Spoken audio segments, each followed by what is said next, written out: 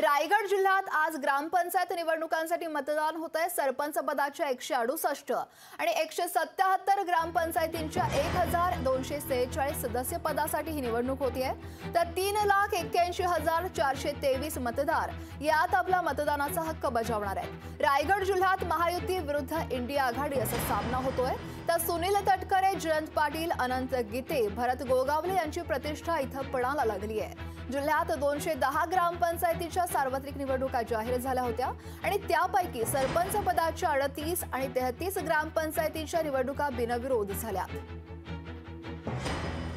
आणि याचाच आढावा घेतला आमचे प्रतिनिधी भारत गोरेगावकर यांनी. पाहुयात.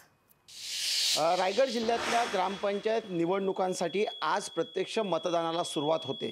काही वेळातच मतदान प्रक्रियेला सुरू होईल परंतु त्याआधी काय तयारी आहे ते आपण मतदान केंद्रांवरनं पाहू शकताय. हे नागाव ग्रामपंचायतीचं मतदान केंद्र आहे आणि अर्थातच साडेसात वाजल्यापासून या ठिकाणी प्रत्यक्ष मतदानाला सुरुवात होईल.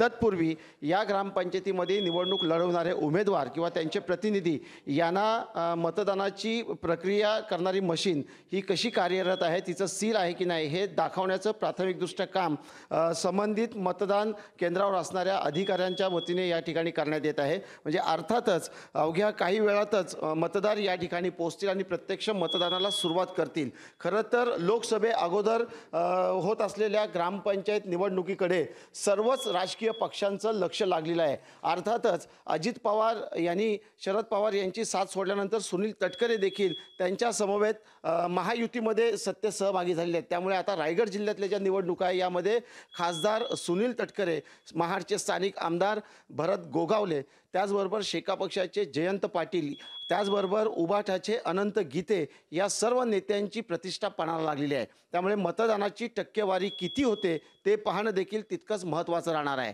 कॅमेरामन सर्वेशसह भारत गोरेगावकर लोकशाही मराठी रायगड. लोकशाही मराठी. ऐका पहा जागरूक रहा.